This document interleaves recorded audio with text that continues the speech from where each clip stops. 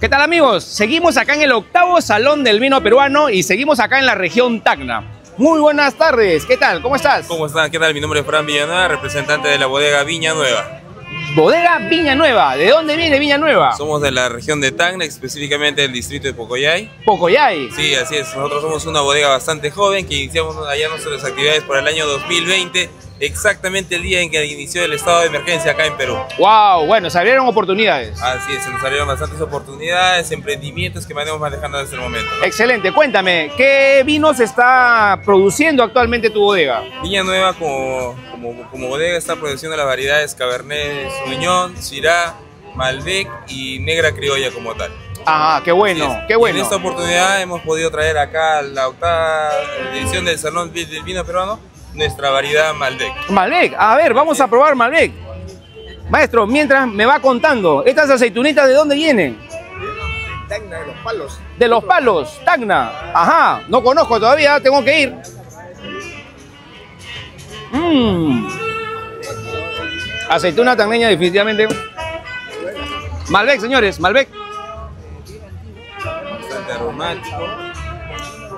Bastante joven muy afrutado, equilibrado. ¿Sabes? Mucha gente no sabe que se hace Malbec en el Perú. O a lo mucho dicen de repente en Ica. Así es, así es. Malbec de Tacna, señores. Malbec de Tacna de la bodega Viña Nueva. Viña Nueva. Viña Nueva. Así es. Bodega Viña Nueva de Tacna. Ya saben, Malbec, muchas gracias. No, gracias a ustedes. Listo. Aquí nomás al costadito estamos con qué bodega?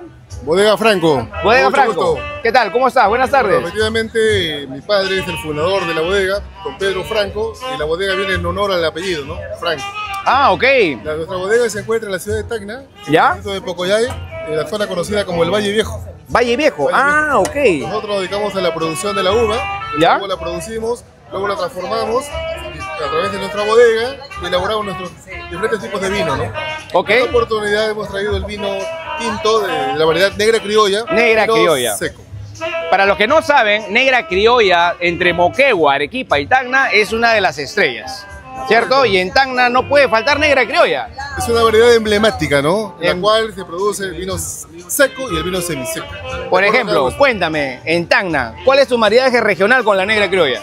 ¿Cuál es tu maridaje regional con negra criolla?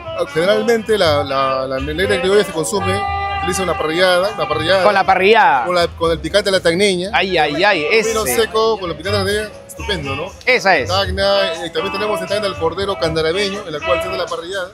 Lo máximo. Yo soy fan del cordero candarabeño. Con el vino seco, excelente. Excelente. Bueno, chicos, qué bueno que estén presentes en este salón. Esto recién empieza, así que, ah, claro, por supuesto.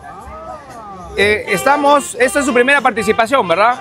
Bueno, esta es la octava edición del Salón del Vino, pero esto va a seguir. No, va a seguir.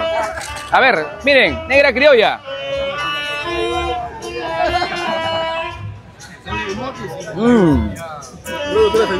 Esa característica de la negra criolla. Los que no han probado negra criolla, vengan a probarlo. Estamos hablando de una eh, variedad patrimonial característica porque tiene mucha fruta. Es un poquito terrosa, es un poquito astringente, es un poquito escandalosa, pero tiene mucho sabor. Y si lo acompañan con ciertas comidas, esto le va a quedar muy bien. Así que yo voy a disfrutar acá un rato más con la gente de Tacna. Muchas gracias, chicos. Gracias.